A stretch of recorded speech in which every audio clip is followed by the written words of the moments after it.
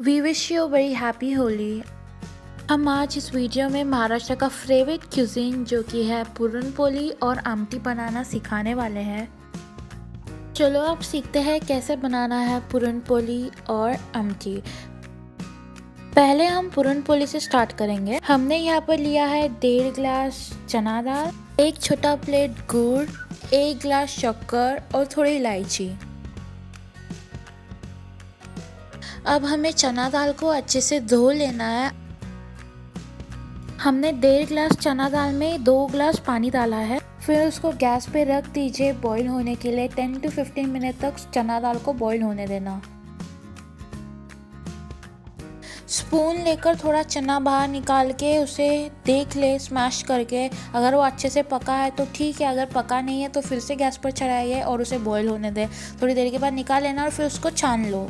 और ये जो पानी बचा है, इसे फेंकना मत। यह हमें आमटी के लिए काम आएगा। इस चना को हम कुकर में शिफ्ट करेंगे। इसमें ऑयल डालने की कोई ज़रूरत है नहीं। डायरेक्टली चना कुकर में डाल देना। अब हम इसमें एक गिलास शक्कर डालेंगे और इसे अच्छे से मिक्स कर लेंगे। और वो जो गुड़ था, वो भी डाल लेंगे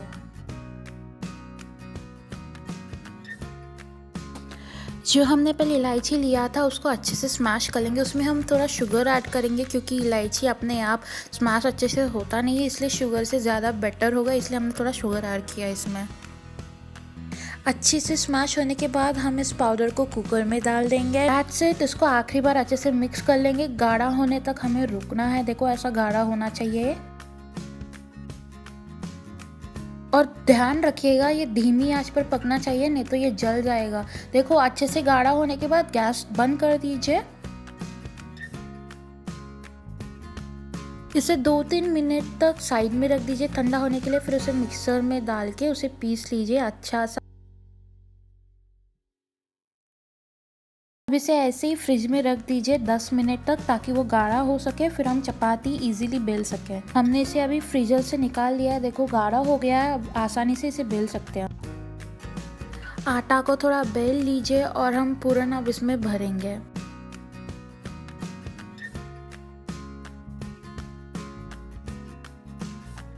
देखिए, इस तरह से हमें करना है। आराम से करिएगा अगर आप फ़र्स्ट टाइम कर रहे हैं तो। और हमने जो पूरन पोली का मिक्सचर बनाया है, वो थोड़ा साइड में दो स्पून रखिएगा ताकि वो आमटी में हम थोड़ा डाल सकें। बहुत अच्छा टेस्ट आएगा डू ट्राई इट आउट यहाँ हम थोड़ा आटा का पाउडर छिड़क रहे हैं ताकि ये जो हमने बनाया है डॉ वो चिपके ना नीचे। स्लोली बेल लीजिए, ये बहुत आसान है, दिखने में हार्ड लगता है बट ट्रस्ट में ये बहुत आसान है बनाने में। हमारा बेलना समाप्त हो गया है। हम थोड़ा पैन के ऊपर ऑयल छिड़केंगे। अगर आपको घी पसंद है तो घी डालिएगा। और थोड़ा ऑयल या घी चपाती को भी लगाना और फिर उसको पैन के ऊपर रख दीजिए।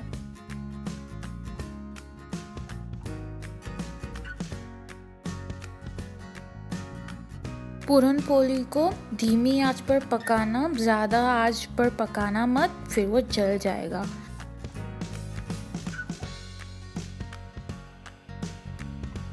हमारा पूरन पोलिया एब्सोल्युटली रेडी है ये खाने के लिए तैयार। है खाने से पहले ना चपाती के अंदर थोड़ा घी डाल दीजिए, बहुत ज़्यादा टेस्टी लगेगा खाते टाइम।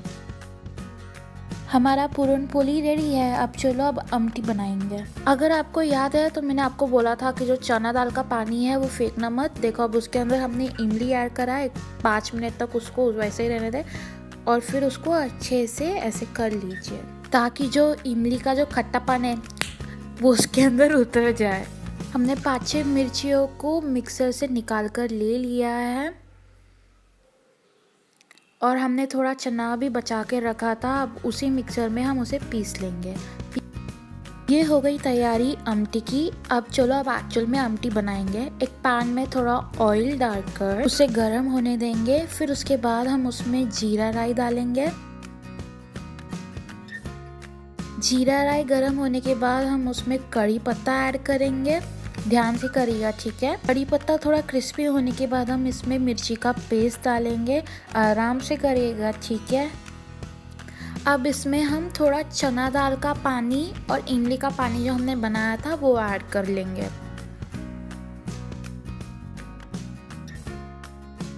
अब इसमें हाफ़ टी स्पून हल्दी, टू टीस्पून सॉल्ट स्वाद अनुसार डाल लीजिए ऑफकोर्स चार पाँच इलायची के कवर्स जो हमने बचा के रखे थे, वो ऊपर से डाल दीजिए। मैंने आपको बोला था ना कि पूरन का बैटर बचा के रख लीजिए। पूरन का बैटर हम इसमें पाँच से छः स्पून डालेंगे। अगर आपको ज़्यादा स्वीट चाहिए तो ज़्यादा डालिएगा। अगर आपको स्वीट पसंद नहीं है ज़्यादा तो थोड़े स्पून डाल लीजिए। टू स्पून काला मसाला या ऐड कर रहे थे। हम पहले ऐड करना भूल गए थे तो इसलिए अभी ऐड कर रहे हैं। अब इसे अच्छे से मिक्स कर लेना है, ठीक है? जो हमने पूरन का बैटर डाला था ना, उस बैटर को अच्छे से तोड़ देना है, वो अच्छे से इस मिक्सचर में मिक्स हो जाए, ठीक है? हमारा ऑलमोस्ट रेडी है आमटी। थोड़ा सा बस पकने दीजिए, एक पाँच छः मिनट तक पकने पकने दीजिए धीमे आँच पर।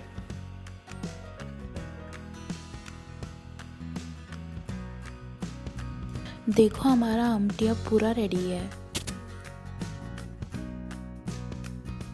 ये हमारा फ़र्स्ट वीडियो था। अगर आपको अच्छा लगा तो please to like and subscribe once again I very happy